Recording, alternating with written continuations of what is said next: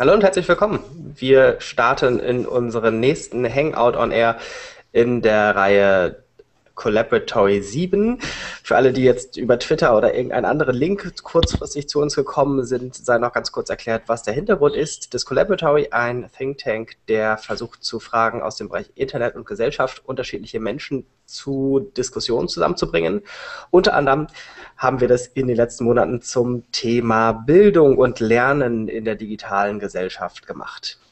Daraus sind verschiedenste Ergebnisse entsprungen und eines davon ist diese Reihe von Expertengesprächen, die wir über Hangout on Air veranstalten.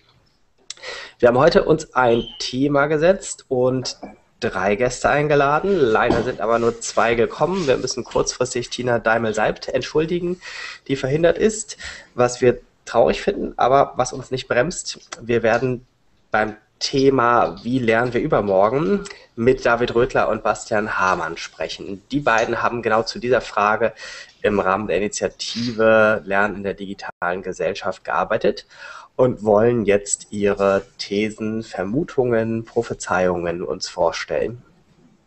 Der Titel insgesamt, Wie lernen wir übermorgen, ein Blick in die technologische Zukunft des Lernens, über Augmented Reality, Holographie, Neurointerfaces etc. bin ich sehr gespannt, was wir da gleich hören werden. Für alle, die das Format das erste Mal miterleben, wir werden einen Input von etwa einer Viertelstunde, 20 Minuten haben. Sie sind herzlich eingeladen, schon währenddessen zu diskutieren. Sie sollten, wenn Sie das jetzt nicht in der Aufzeichnung sehen, sondern live, unter diesem Video einen Chat sehen. Da können Sie sich über Gast einen Namen aussuchen oder über Facebook oder Twitter oder irgendwas anderes anmelden. Wenn Sie eine Frage stellen und unsere beiden Experten reden noch, dann kopiere ich mir die Frage raus und stelle sie nachher in den zweiten 20 Minuten, wo wir uns mehr Fragen, Antworten, Diskussionen, Kommentaren widmen wollen. Und nach gut 40 Minuten, vielleicht 45 Minuten, sollten wir fertig sein. Falls Sie diese Aufzeichnung, das hier als Aufzeichnung sehen, herzliche Grüße in die Zukunft. Ähm, Sie können dann schon mal entscheiden, ob die Prophezeiungen wahr geworden sind oder nicht, je nachdem, wie weit sie in der Zukunft sitzen. Aber ein bisschen Zeitreise können wir schon mit diesem Tool hier. Jetzt freue ich mich sehr über unsere beiden Gäste und David Rödler und Bastian Hamann wollen uns jetzt ein paar Folien vorstellen, die sie mitgebracht haben. Das in den nächsten Viertelstunde, 20 Minuten. Ich freue mich sehr. Los geht's. Gut, wer, wer startet? Also erstmal vielen Dank für die, für die Einführung, Jöran. Vielleicht, vielleicht sollten wir uns vorstellen, Bastian, oder? Bevor wir loslegen. Ja, können wir gerne machen. Mach du mal zuerst. Okay, Bastian Hamann. Ich habe Philosophie und Informatik studiert, äh, in einer Verwaltungsmodernisierung, ähm, in einer Beratungsfirma gearbeitet und bin jetzt äh, IT-Leiter einer kleinen Hochschule. Genau, David. Ja, ich äh, bin seit über 15 Jahren, glaube ich, fast schon selbstständig. Äh, berate Social Media und EU-finanzierte Projekte, aber bin auch sehr in der Bildung aktiv. Zuerst äh, über zehn Jahre Erwachsenenbildung und jetzt immer mehr auch universitäre Lehre. Und ich, ich wende in, in, in beiden Feldern Social Media sehr gerne an und, und experimentiere mit, mit innovativen Formaten.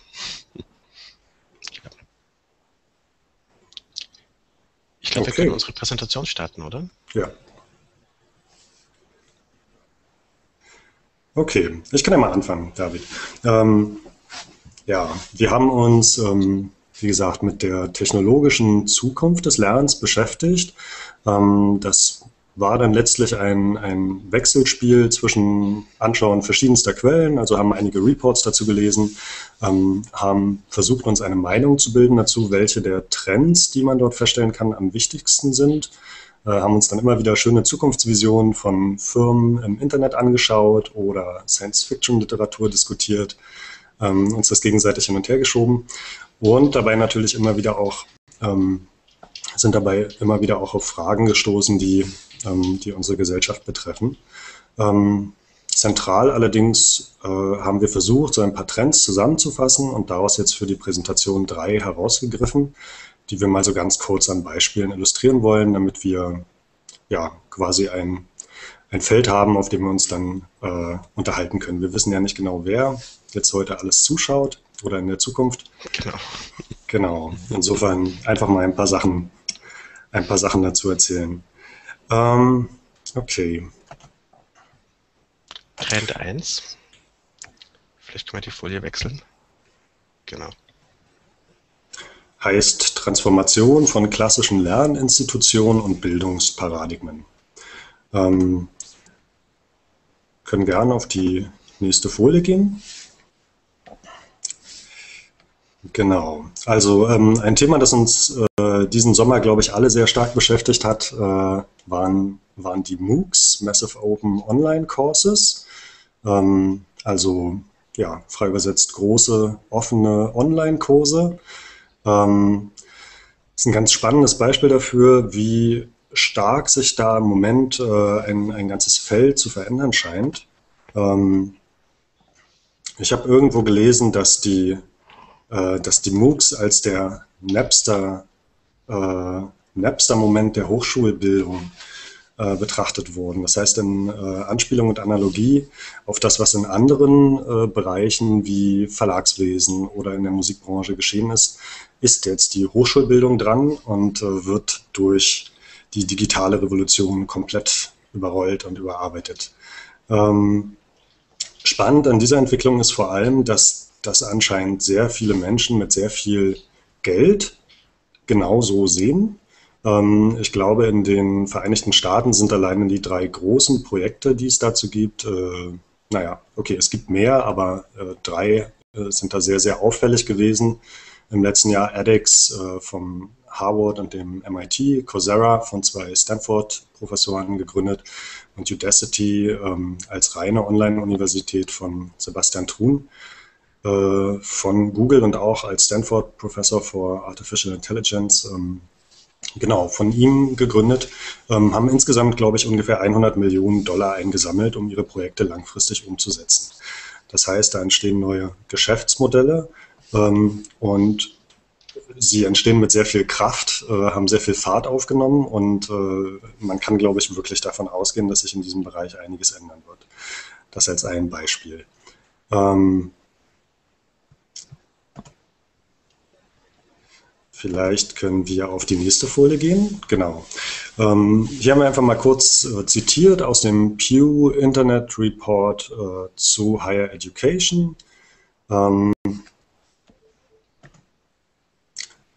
Ich lese das mal vor. Under current and foreseeable economic conditions, traditional classroom instruction will become decreasingly viable financially. As high-speed networks become more widely accessible, teleeducation and hybrid instruction will become more widely employed. Das sagt ein Senior Researcher, ist einfach nur ein Beispiel äh, von vielen, vielen Stimmen, die dort zusammengefasst sind. Sehr interessanter Report. Ähm, ja, ähm, spielt, soll einfach nur nochmal illustrieren, äh, was ich gerade schon erzählt habe, zur, ähm, auch zur finanziellen äh, Wucht, die hinter dieser Entwicklung steht. Okay, dann will ich mit der nächsten Folie mal an David übergeben. Mhm, genau. Also das wäre hier so ein, ein Beispiel von Tele-Education, so wie wir das jetzt hier auch haben. Was ich an dem Foto irgendwie ganz nett finde, das ist zwar noch diese, diese klassische äh, Klassenzimmer-Setting, äh, äh, aber, aber, aber das, das war die, die Probe, weil, weil alle diese, diese Kursteilnehmerinnen und Teilnehmer verstreuen sich dann in alle Welt und, und sind dann äh, nach diesem Test weiterhin verbunden über diese Online-Konferenzlösung, so wie wir es jetzt auch haben.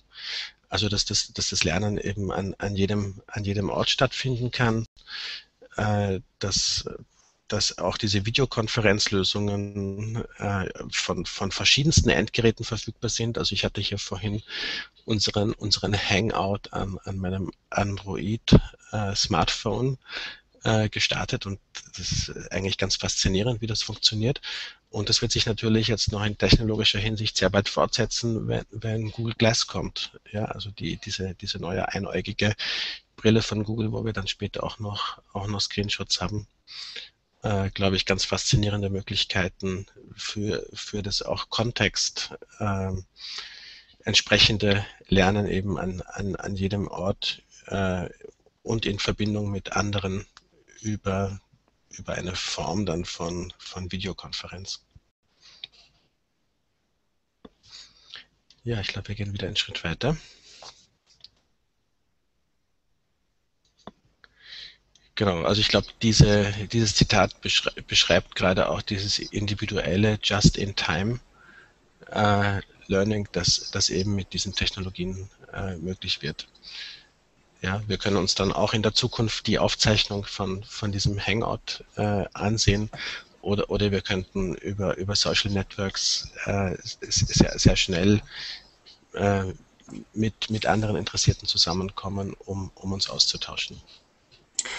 Vielleicht ganz kurz als Ergänzung, David, hier zu der Folie, ähm, um das mal ein bisschen einzunorden, was da steht.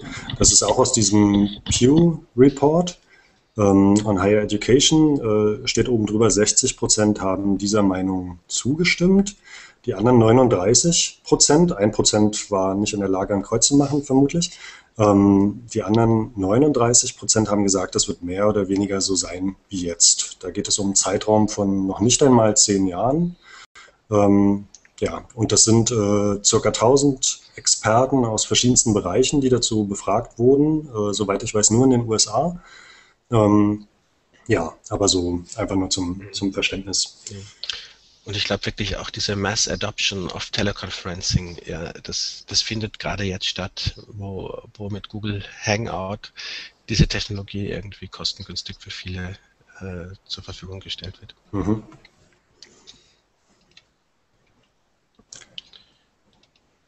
Ja, bitte einen Schritt weiter. Genau. Äh, traditionelle Face-to-Face-Education wird, wird wahrscheinlich ein möglicherweise Privileg äh, werden. Äh, aber wir, wir glauben, dass, dass eben genau das, von dem wir vorher gesprochen haben, haben eher, eher der, der Massen, die, die, die Massen betreffen wird. Magst du noch ergänzen, Bastian? Ähm, ich fand das interessant, was der Tapio Varis äh, hier gesagt hat, ein emeritierter Professor, ähm, dass er glaubt, dass das aus, äh, außerdem auch noch den, äh, den Standard der Ausbildung äh, in vielen Bereichen äh, etwas absenken wird. Und das ist eben ein, äh, ein Demand, ein, ähm, ja, ein Bedürfnis nach einer globalen Standardisierung in einigen Feldern geben wird. Ähm, ja, man, man kann sich vorstellen, oder im Moment wird, glaube ich, gerade heiß diskutiert, ähm, die, das American Council on Education hat gerade äh, einige dieser MOOCs äh, zugelassen, also sind jetzt quasi äh, creditwürdig. Ähm, das heißt, man, man kann solche Dinge jetzt online machen. Ähm, und solange man beim Test äh, bestimmte Anti-Cheating, ähm, also Maßnahmen gegen das Betrügen, ähm, äh, einhält, was meinetwegen in Lernzentren weltweit sein könnte, ähm, dann äh, werden diese Kurse angerechnet. Das heißt, man kann dann unter Umständen schon an die Uni kommen und sagen, ich habe hier drei Online-Kurse schon im Vorfeld gemacht ähm, und die werden einem dann halt angerechnet. Ähm, andere Variante wäre, dass, äh, dass die Universitäten äh, anfangen, Kurse von Koryphäen der Lehre, äh, die, weiß nicht, an den Ivy League-Universitäten oder irgendwo anders erstellt wurden, von also wirklich ähm, weltweit anerkannten, anerkannten Leuten, ähm, dass, äh, dass diese Kurse lizenziert werden von kleineren Universitäten und äh, dass das halt genutzt wird, um die Kosten zu senken. Das ist ähm, ja halt letztlich die treibende Kraft hinter all diesen Entwicklungen. Ähm, und das hat sich uns auch immer wieder gezeigt, dass äh, zwar einerseits Technologien natürlich notwendig sind. Ähm, gerade im Bereich MOOCs ist das aber alles nicht neu. Alles, was da genutzt wird, haben wir eigentlich schon länger. Ähm, jetzt kommen aber äh, Geschäftsmodelle dazu. Äh, es wird für die Leute interessant, gerade im, im Umfeld von Big Data und, und äh, Learning Analytics, ähm, daraus eventuell Geschäftsmodelle zu zimmern. Und ähm, das verleiht dieser ganzen Entwicklung gerade sehr, sehr viel Kraft. Genau. Okay. Gehen wir einen Schritt weiter. Genau. Äh, int interessant finden wir auch, dass, dass sich wahrscheinlich die Bewertungssysteme, also traditionelle Benotungen zum Beispiel oder ECTS-Punkte sammeln, äh, wird, wird sich wahrscheinlich äh, verändern, in dem, in dem Maße auch, in, in dem die, die Angebote immer, immer mehr peer-to-peer -peer werden und eben nicht, nicht formalisierte Angebote sind. Und, und äh, das, was der, der Cloud Score macht, irgendwie im, im Bereich der, der Social Media Reputation oder Reichweite, die dort Personen haben. Ähm, das kommt dann auf der nächsten Folie, sind dann die, die Open Badges, die, die schon ganz, ganz spezifisch den, den Bildungsbereich ansprechen und, und doch eine wirkliche Alternative zu, zum traditionellen Benotungssystem darstellen. Bastian. Ja, machen wir. Zu den Open Badges vielleicht?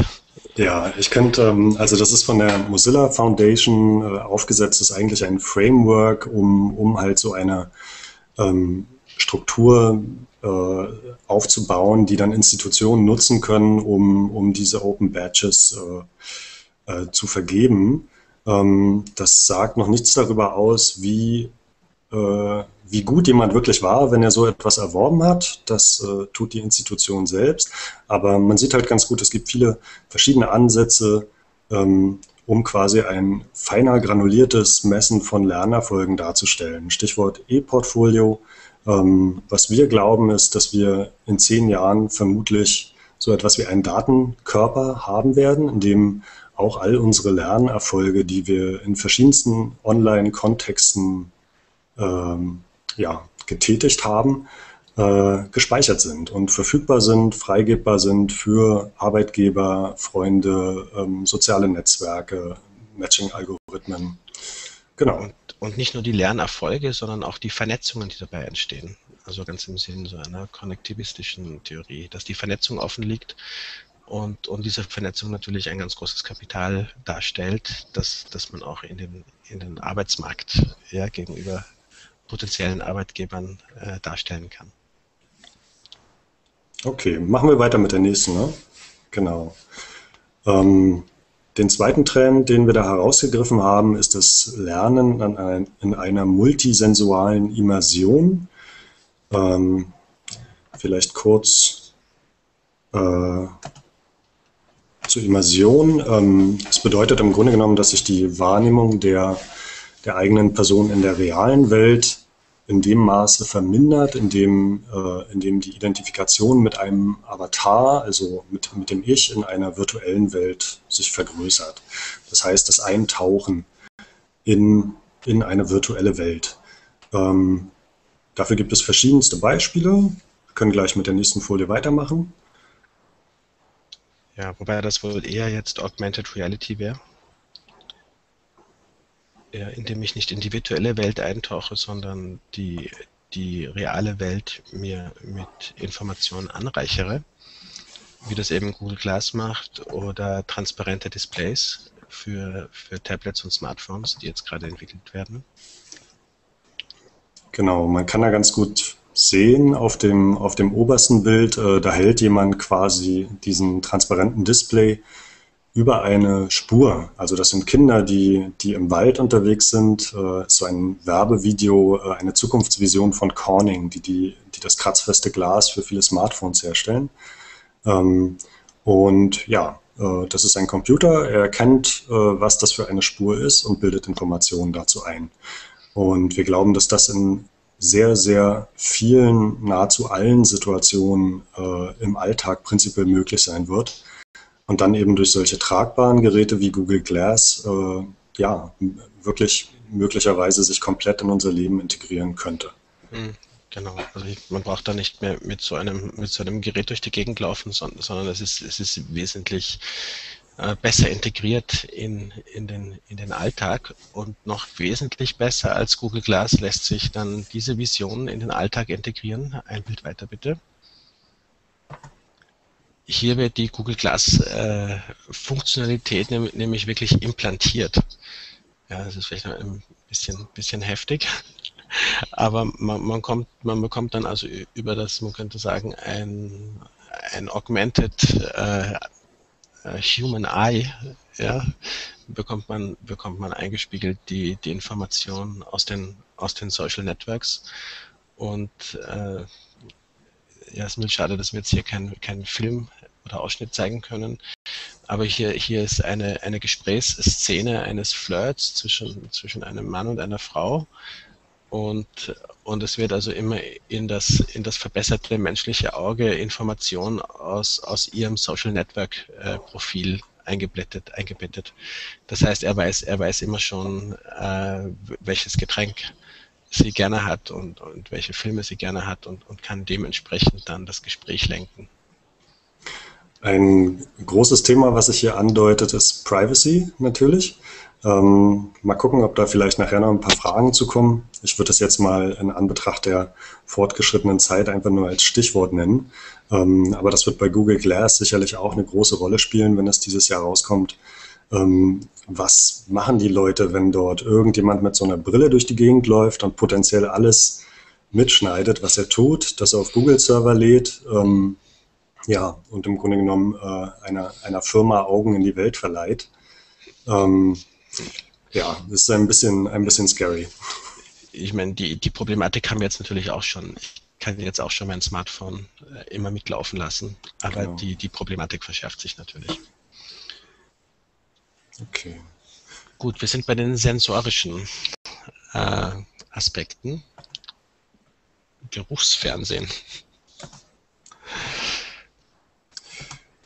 Genau, das ist im Grunde genommen einfach nur, ähm, äh, ich weiß gar nicht, wie es umgesetzt ist. Es ist äh, ein, ja, auch schon seit längerer äh, Zeit im, im, Umlauf. Ich glaube, es geht, es wird irgendwie über Erhitzen, äh, ja, quasi so einer bestimmten Box mit chemischen Grundstoffen äh, geregelt. Ähm, soll einfach nur andeuten, diese multisensuale Immersion. Ähm, das heißt, den, den Trend dazu, dieses Realitätsgefühl in einer virtuellen Welt äh, zu verstärken, äh, dass das sich eben auch auf andere Sinne ausdehnen wird äh, und dass so der große Trend ist, dass es eben äh, immer mehr, immer, immer, schwieriger von der Realität zu unterscheiden ist, also immer vollständiger unsere Sinne angesprochen werden ähm, und die Illusion immer perfekter wird. Wobei ich mir bei, bei Gerüchen nicht wirklich sicher bin, ob ich das immer haben will. ich glaube, einige Kriegsfilme äh, würden zumindest andere Gefühle auslösen in, äh, in 14-jährigen Möchtegern-Soldaten. Ja. Okay, nächste Folie, oder? Genau, das, das war hier auch ein, ein, eine Präsentation auf einer Messe 2008 und ich finde ich finde so interessant, wie, wie altmodisch dieses fünf Jahre alte Handy aussieht. Und, und auch aus dieser, aus dieser Rückschau, glaube ich, sieht man, sieht man auch, wie schnell die Entwicklung äh, voranschreiten wird. Äh, das war hier ein, ein eine Testaufbau, eben Gerüche zu übertragen über Mobiltelefon. Und in dieser, in dieser silbernen oder metallenen Box sind eben verschiedene äh, Geruchsstoffe drinnen, die dann erhitzt werden und so weiter. So altmodisch wird unsere Präsentation vermutlich in zwei Jahren dann auch wirken. Genau. Machen wir uns weiter lächerlich mit der, mit der nächsten Folie? Ja, auch, auch, ein, auch ein sehr spezielles Szenario. Das ist eine, eine Weste, eine, also eine Drahtweste, die man, die man anziehen kann, die dann analysiert äh, mein, mein Gegenüber in einem Gespräch und, und dann mir, mir sensorisches Feedback gibt, äh, wie ich meine Körpersprache dem, dementsprechend anpassen sollte. Das heißt, wenn, wenn jetzt Bastian zum Beispiel sich, sich ganz entspannt zurücklegt, ja, dann würde mir dieses äh, Gerät wahrscheinlich empfehlen, ja, ich, ich sollte das spiegeln, ich sollte mich jetzt auch entspannt äh, zurücklegen. Äh, und also es ist ein, ein, ein, ein impulsischer Feedback-Generator für, für, meine, für meine Körperhaltung. Mhm. Genau, wir können ja auf der nächsten Folie, wird das glaube ich so ein bisschen fortgesetzt, was da für Anwendungsfälle vorstellbar wären. Genau, ähm, das ist jetzt ein System, was einem dieses Feedback beim äh, Snowboardfahren lernen geben soll. Äh, relativ frisch, wird, wird gerade entwickelt. Ich weiß nicht, ob das, ich glaube, es ist erstmal einfach nur eine wissenschaftliche Studie. Ähm, ja, aber man, man braucht äh, quasi ein bisschen Zeit, um dieses Feedback, was man da bekommt, auch wirklich zu verstehen. Also man muss das am Anfang ein bisschen, ein bisschen lernen, aber danach äh, zeigt es wohl deutliche Erfolge, weil man eben sofort in Echtzeit ein, ähm, ein sehr körperlich spürbares äh, Feedback dazu bekommt, wie, wie man da auf dem Brett steht und was man vielleicht anders machen sollte. Das nächste ist noch ein, ein haptisches äh, Feedback-System. Äh, man sieht hier, die, die beiden haben auch so ein, ein Herz und, und noch ein andere, andere Riemen um die, um die Brust gewickelt. Und äh, das soll also bei, bei Realtime-Kommunikation, also wenn Bastian und ich jetzt hier flirten würden. oh, David. und dann, wenn es aufregend wird, dann, dann, würden wir, dann würden wir spüren, wie unser Herz anfängt zu schlagen, gegenseitig. Ja. Könnte ich dein Herz spüren, deinen Herzschlag. Ganz im Übrigen absolut äh, sehenswert das Video dazu. Ähm, ja, nee, ich sage jetzt, ich sag jetzt mal nichts. Ich möchte die wissenschaftliche Leistung nicht schmälern, aber es äh, hat auf mich schon einen sehr geekigen Anstrich. Ähm, aber der, der Grundgedanke ist, glaube ich, sehr, sehr, sehr interessant und auch sehr, ja. sehr eine sehr mächtige Technologie. Ja, ja, aber es wirkt, wirkt einfach skurril. Mhm. Okay. Ja, das, das nächste ist, ist eher eigentlich wieder jetzt so Augmented äh, Reality äh, es ist ein, eine Art Holodesk oder wie würde man das bezeichnen? Was ja, genau. Das System heißt, glaube ich, sogar sowas von Microsoft. Genau. Nutzt die Kinect, äh, um die Bewegung äh, zu erfassen und projiziert dann holographisch Gegenstände. Spannend wird das eben, wenn es auch in, in äh, Echtzeit umgesetzt werden kann. Das kann man hier jetzt nicht so gut sehen wie in den Videos, die es dazu gibt, aber im Grunde genommen äh, wirft dort jemand äh, einen Würfel oder eine Kugel von einer Hand in die andere oder nutzt eine, eine Tasse. Ähm, und das ist zwar alles noch so ein bisschen ähm, ja, im, im Ausprobierstadium, mhm. aber man kann ganz gut erkennen, wo das hinführen kann. Und wir glauben, dass äh, Holographie auf jeden Fall eine ganz spannende Technologie ist, die in zehn Jahren vermutlich sehr weit verbreitet sein wird.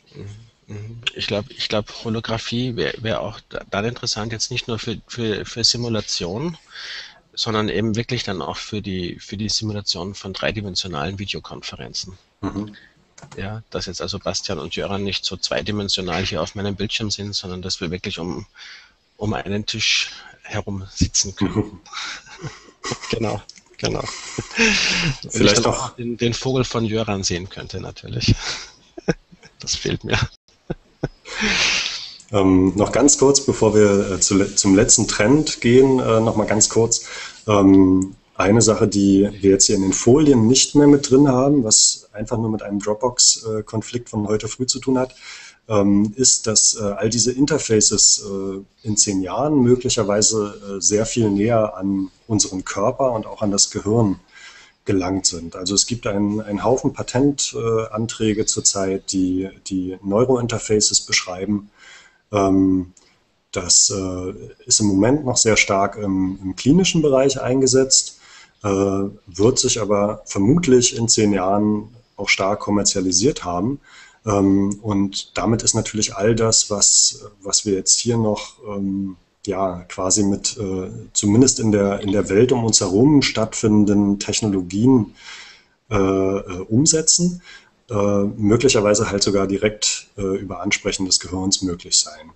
Ähm, eine Richtung dabei wäre eben mitzulesen, in Anführungsstrichen, was, was sich im Gehirn abspielt. Äh, ich glaube, komplexe mentale Zustände werden auch in zehn Jahren meiner Ansicht nach damit noch nicht erfasst werden. Ähm, es gibt viele Philosophen, die sagen, es geht überhaupt nicht. Ähm, ich bin prinzipiell ein bisschen anderer Meinung, glaube da aber nur an äh, Statistik. Ähm, das heißt, dass wir uns solchen Aussagen annähern können werden. Ich glaube aber, dass es wirklich noch einige Zeit dauern wird, bis wir so weit sind. Einfachere physische Zustände meinetwegen, wie Schmerz, ähm, kann man aber möglicherweise äh, nicht nur mitlesen, sondern in zehn Jahren unter Umständen sogar übertragen. Ähm, das sprechen wir in unserem Abschluss, in unserer Abschluss, im Abschlussbericht des CoLabs, in unseren äh, Szenarien, in unseren Geschichten auch ein bisschen an. Ähm, ich will einfach mal nur noch andeuten, dass es auch in diese Richtung äh, sehr viele, ähm, ja, sehr, sehr viele Entwicklungen gibt. Genau. Und dann machen wir weiter mit äh, Trend 3. Ne? Genau, wobei, wobei man sagen muss, also die, das soziale Lernen kann natürlich wunderbar in den, in den vorher schon gezeigten technischen Entwicklungen stattfinden. Also in dieser verbundenen Haptik und in, mit, mit Hilfe von Google Glass und so weiter. Deshalb vielleicht nur noch auch ganz, ganz kurz technische Möglichkeiten, das zu erleichtern. Ja. Eins weiter bitte. Genau, also das hier wäre ein, wieder ein transparentes äh, äh, Tablet, äh, das dann Augmented äh, Reality da ein Dinosaurier in den Wald äh, einblendet. Und äh, diese Erfahrung kann natürlich wieder gemeinsam mit anderen gemacht werden. Hier ist man dann hinterher im Wohnzimmer und, sieht sich das noch an. Aber es könnten natürlich auch von überall her äh, noch, noch andere an dieser Lernerfahrung teilhaben. Noch eins weiter bitte. Hier geht es in den, in den medizinischen Bereich, äh, dass, dass sich also Ärzte, die auch sich auch nicht an einem Ort befinden, äh, gemeinsam hier Untersuchungsergebnisse ansehen können, um Diagnosen zu erstellen. Und das letzte sind hier vielleicht auch noch eine interessante Entwicklung, äh, Drohnen, die, die immer kleiner werden und natürlich auch dann Audio und Video übertragen und fernsteuerbar sind. Äh, und mit denen ist natürlich dann auch äh, ja, verschiedenste Szenarien denkbar, die dann aber auch, um mal Hinweis, im Abschlussbericht dann beschrieben werden. Genau, also beim, bei dem sozialen Lernen, das ist natürlich nichts Neues, hat David ja schon gesagt. Ähm, was wir hier spannend finden, ist eben einerseits die Verbindung mit all diesen neuen Technologien, äh, die wir äh, jetzt versucht haben zu beschreiben, und andererseits auch die Menge an Daten, die in dem äh, prognostizierten Internet der Dinge äh, auftauchen werden. Das heißt, ähm, wenn alles miteinander vernetzt ist und äh, sehr, sehr viele Bereiche sensorisch erfasst sind, egal ob es den menschlichen Körper angeht oder äh, die Systeme, in denen wir, in denen wir Erfahrungen machen, online. Ähm, das wird, wird in Zukunft in zehn Jahren möglicherweise fast alles sein, was wir tun. Dabei entstehen Daten, die können ausgewertet werden. Ähm, und ja, und im Grunde genommen dann in all ihrer Komplexität äh, und möglicherweise in Echtzeit äh, mit Menschen in der ganzen Welt geteilt werden ähm, und natürlich auch dazu genutzt werden, um Erkenntnisse zu gewinnen darüber, wie Leute all das tun, was sie tun. Äh, in unserem Fall halt vor allem das Lernen. Ja, sind wir durch, oder, David? Ja. Vielen, vielen herzlichen Dank. Ähm, für den kleinen Rundgang durch die Zukunft. Irgendwo ist es ja so zwischen Gegenwart und Star Trek, so ganz seltsam, also vom Zeitgefühl.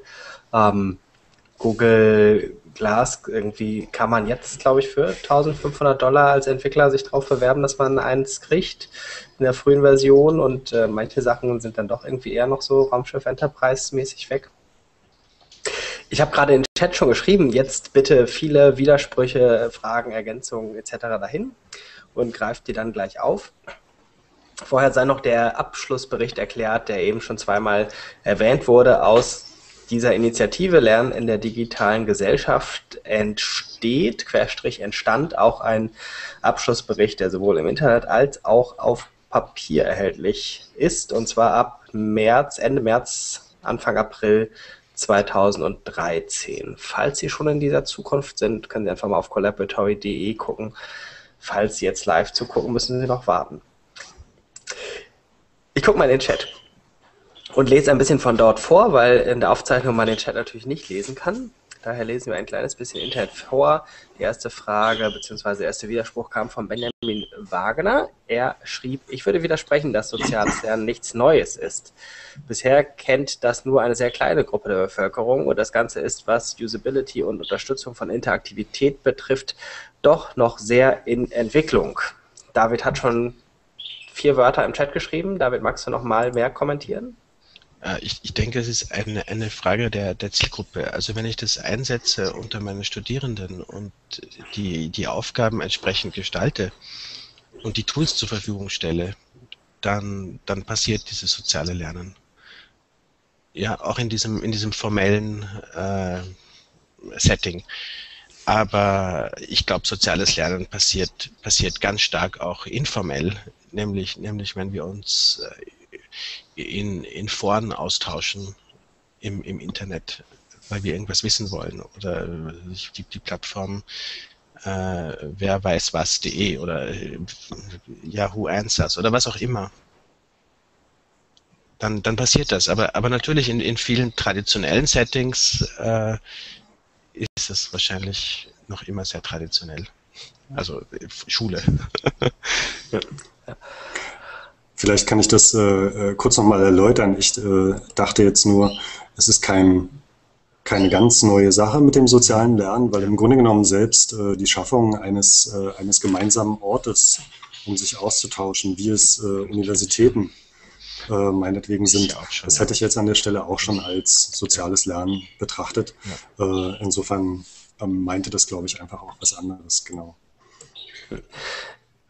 würde gerne den nächsten Punkt aufgreifen. VHS-Kreis Euskirchen schreibt, ich habe das Gefühl, dass die meisten Dinge doch eher eine längere Zeitperspektive haben. 100 statt 10 Jahre. Die Menschen sind nicht so schnell.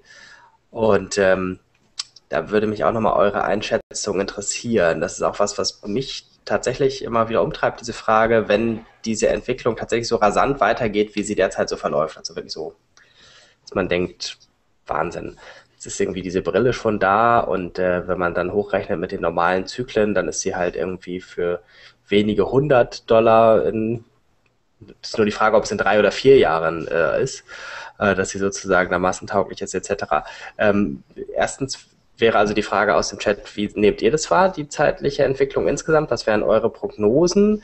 Und dann nochmal auf der Metaebene, äh, wie gehen die Menschen damit um? Also kann das sozusagen mit diesem eher exponentiellen Tempo der Entwicklung weitergehen? Und falls nicht, wie dann? Hm. Also ich glaube, es wird, es wird weiterhin unterschiedliche Geschwindigkeiten geben. Es gibt Early Adopters und, und viele, die danach ziehen.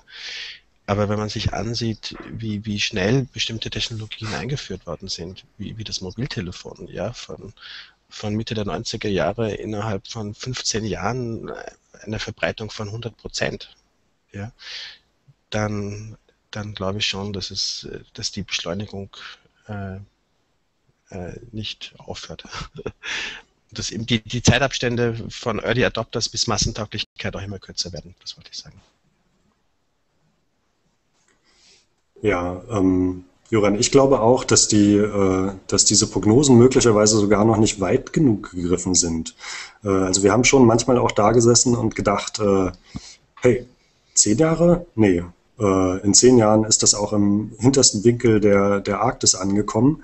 Ähm, aber in fünf Jahren, ähm, wenn das so abläuft wie mit Mobiltelefonen, dann, äh, dann haben wir sowas wie Google Glass äh, in fünf Jahren als Standardtechnologie, Augmented Reality, Datenbrillen, all das, was dann im Hintergrund passiert, äh, dass das über die Netze auf Server geladen wird und man dort mit Algorithmen alles Mögliche mit diesen unglaublich vielen Daten anstellen kann.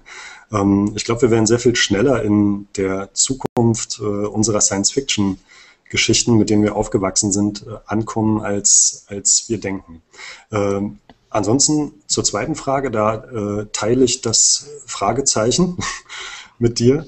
Ich äh, weiß es selber nicht genau. Ich ähm, glaube auch, es ist rasend schnell, ähm, es beschleunigt sich, diese Entwicklung.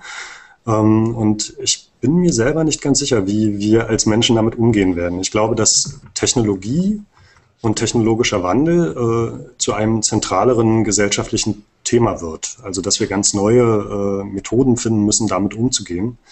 Ähm, ja, äh, dass es äh, auch als Politikfeld meinetwegen wichtiger wird.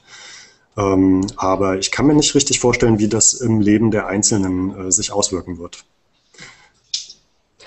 Wir haben noch ein Feedback von Benjamin Wagner nochmal. Er schreibt, ich denke, dass die Entwicklung im Zusammenhang mit Mobile Devices weiterhin recht schnell vorangehen wird. Google treibt ja jetzt auch die Entwicklung im Bereich Augmented Reality mit Ingress recht stark voran. Was ist Ingress? Kennt es jemand von euch? Nee. Ich habe ich hab gerade gegoogelt. Und es, es dürfte ein, ein, eine Art Spiel sein, das, das sehr viel mit Augmented Reality äh, arbeitet. Ich tue es mal in den, ah, okay. Chat, in den Chat rein. Okay, weitere Fragen, Last Call. Fragen, Anmerkungen etc. Ähm, M. Andra schreibt, könnte eine allgemeine Verfügbarkeit von Technologien wie Google Glass und besserer mobiler Internetabdeckung, LTE, zu einem radikalen Paradigmenwechsel in der Bildung führen. Reines Faktenwissen ist ja dann noch weniger, noch weniger vonnöten. Meiner Meinung nach absolut angemessener Punkt.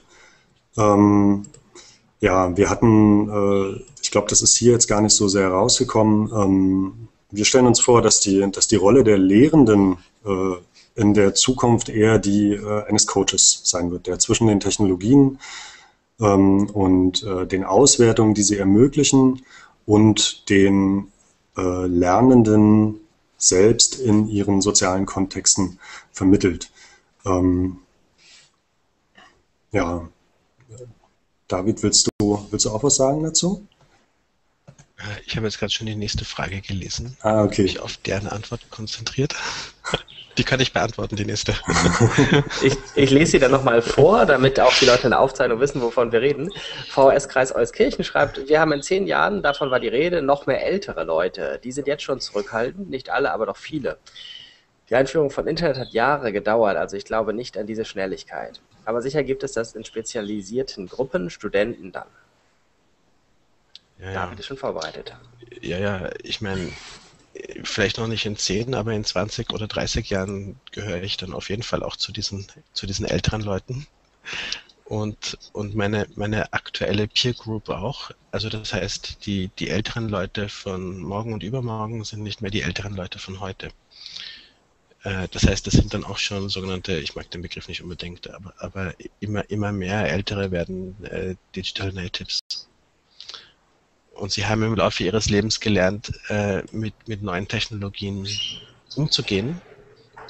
Und sie werden auch in, wenn sie 60 oder 70 sind, dann noch leichter lernen, mit neuen Technologien umzugehen. Also da bin ich optimistisch. Ja, bis dann haben wir ja neue Technologien neu. Also ähm, die, die, ja, ja, die lernen das dann, die lernen natürlich die neue. Die haben, die haben vor 95 haben sie gelernt Mobiltelefon, äh, was weiß ich, 2007 haben sie ihr erstes iPhone gehabt ja, 2015 werden sie ihre ersten Drohnen starten und so weiter.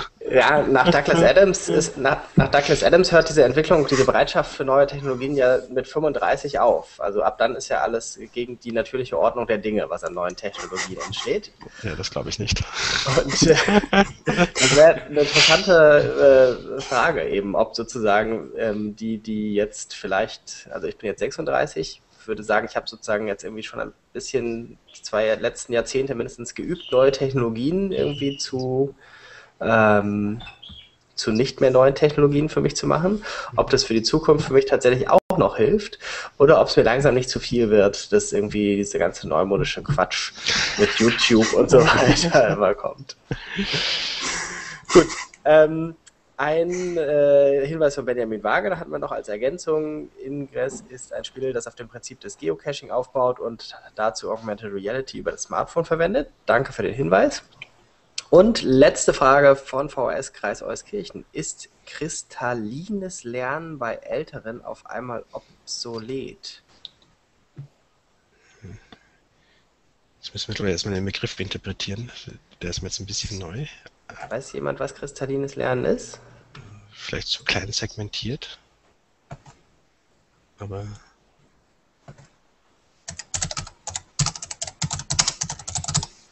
Wer googelt mal schnell? Ich bin gerade dabei.